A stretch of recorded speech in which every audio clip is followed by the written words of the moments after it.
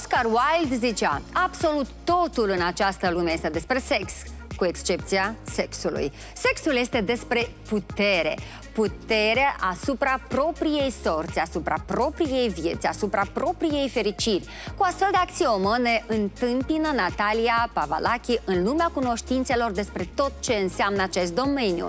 Sexologă cliniciană în Elveția. Moldoveanca noastră vrea să construiască o societate în care putem aborda tematica sexualității într-o manieră pozitivă, binevoitoare, fără rușină, culpabilitate și prejudecăți. E ușor sau sau greu, o să ne spună imediat ea, pentru că este legătură video directă cu noi și o salutăm. Uh, salut, Natalia! Salut! Salut, ne bucurăm, ne bucurăm foarte mult că ai reușit să iei legătura cu noi și ne bucurăm foarte mult pentru tot ceea ce faci pentru societatea noastră.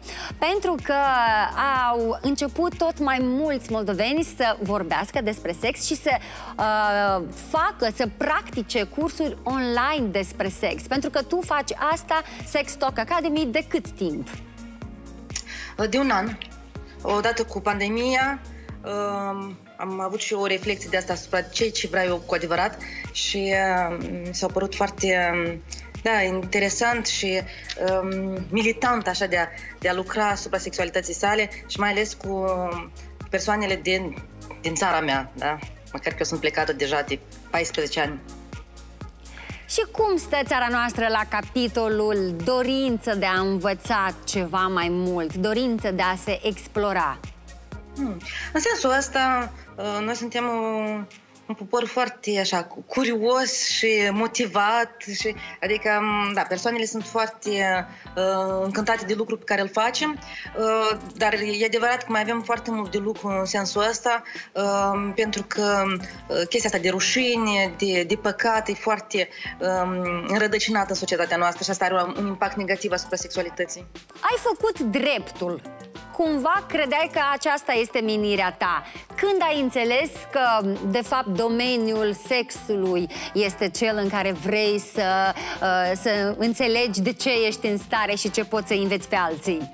M-am dat seama că sexologia întotdeauna a fost un domeniu în care, de care am fost eu pasionată pentru chiar și în studiile din drept, întotdeauna am avut, o, um, da, în, în cadrul masteratului în drept umanitar, am, am vorbit și despre uh, căs, copiii soldați, căsătoriile forțate, uh, da, și um, abuzurile sexuale. Um, adică a, sexualitatea întotdeauna a fost parte chiar și din studiile mele în, în, în drept. Și după asta am spus, Asta, asta, asta e meu. Asta, asta trebuie să, să faci. Uh, ăsta este al nostru. Putem să zicem despre cei care sunt înscriși într-unul din grupurile pe Facebook pe care le-ai uh, le creat, uh, în care oamenii vorbesc despre sex, despre nevoile lor, despre jucăriile lor, despre ce, ce au și poate ce ar vrea să aibă. Știu că inițial era un, și acum este de fapt un grup închis, dar au început să intre tot mai mulți oameni mai limitați în, în acest grup. Cum a fost la început grupul și cum se dezvoltă acum? Cât cu grupul mai, mai închis, uh, poate e mai ușor să ai un anumit, nu știu, control asupra și a comentariilor și a ceea ce, uh, cum fiecare scrie.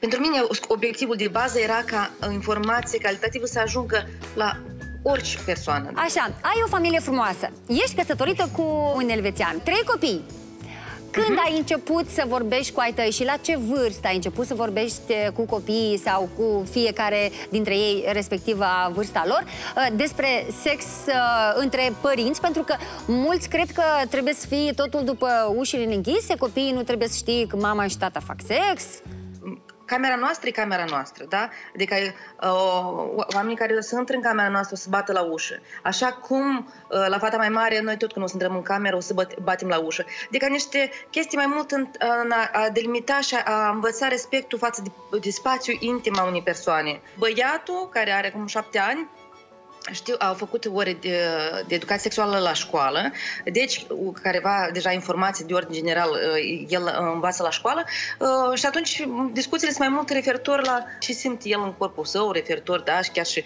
uh, această, aceeași erecție care nu e un lucru da, care apare numai când noi suntem, când bărbații sunt adulți, da, ea apare chiar și din uterul mamei. Deci, adică informația este adusă în funcție de vârsta copilului și de cei ce, cei ce se aplică la el sau la ea cât de importante sunt, iată, pentru uh, copii, pentru viitoarele generații care vor da naștere, mm.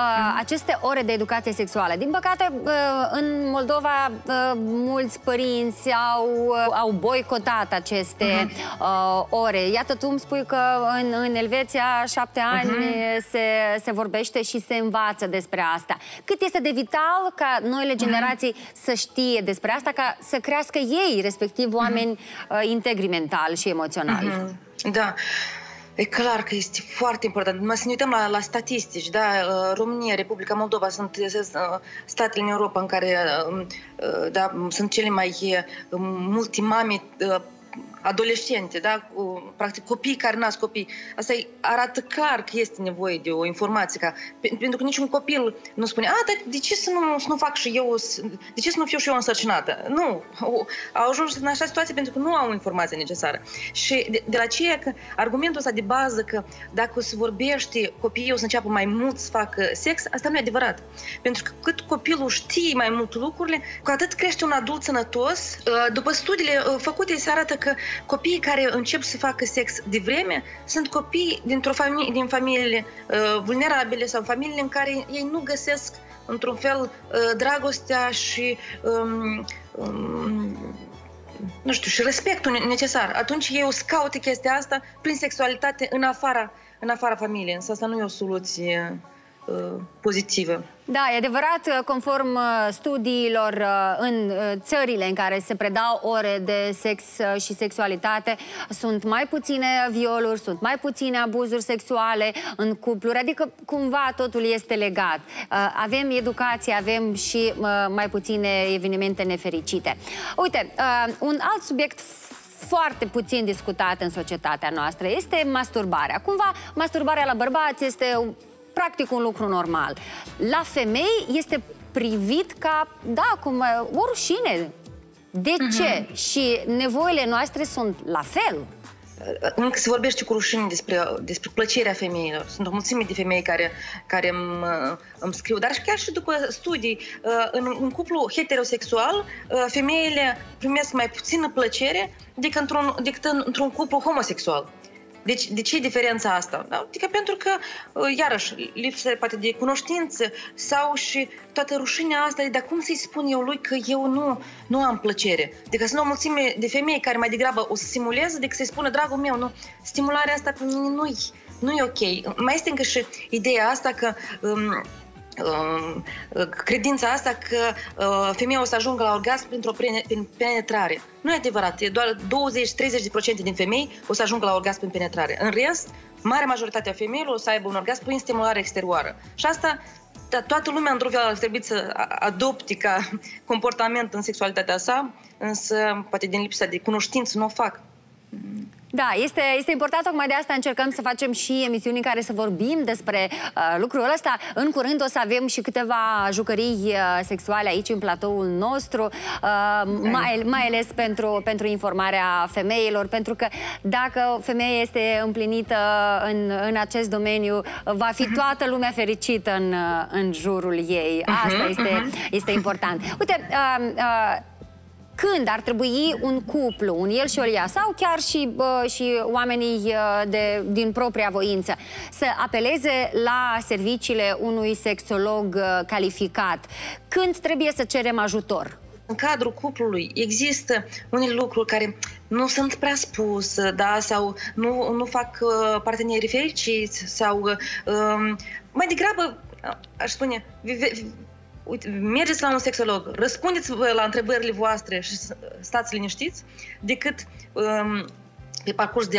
ani de zile o întrebare care poate să fie destul de banală să crească într-o sursă, nu știu, de, de stres sau de... Adică chiar și chestia asta cu, doamne, eu nu am orgasm prin penetrare, oare eu nu sunt ok, dar oare eu... Da, adică mergi și vezi un, un sexolog să, să, să-ți spună faptul că e ok cum tu, uh, cum tu funcționezi și nu, e o, nu ai o problemă tu fiziologic, dar funcționezi ca marea majoritate a femeilor, asta din start, hu, de parcă o piatră de pe inimă și asta poate, uh, tocmai spusând piatra asta de pe inimă, să permit persoanelor mai ușor să, și mai pozitiv să-și trăiască sexualitatea sa.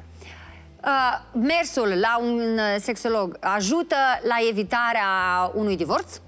Um, dacă, dacă Problema e de natură... Da, da, nu, dacă vă adresați destul de rapid, am o mulțimit de cupluri care vin când e prea târziu. Uh-huh. Și asta uh, deja e de parcă vin să, să le pui verdictul, e gata, mai băieți, dar prea, prea mult ați întins-o, știi? Așa că nu, nu așteptați tare mult, consultați mai devreme.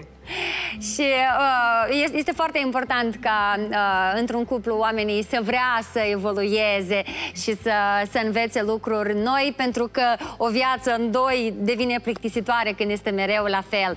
Dragilor, pentru voi, cei care poate uh, discuția asta ar trebui să se întindă pentru mai multe ore, puteți să intrați pe, pe profilul de Facebook, de Instagram Nataliei și acolo să citiți, să învățați atâtea lucruri noi necesare pentru dezvoltarea noastră fizică și emoțională în continuare. Mulțumesc tare mult pentru intervenția Mersi. de astăzi. Mulțumim din numele uh, cetățenilor pentru tot ce, ce faci, că avem nevoie Cu de drag. oameni care să ne uh, mai deschidă orizonturile. Spor Mersi la muncă mult. în continuare! Mersi mult! Mersi, la revedere!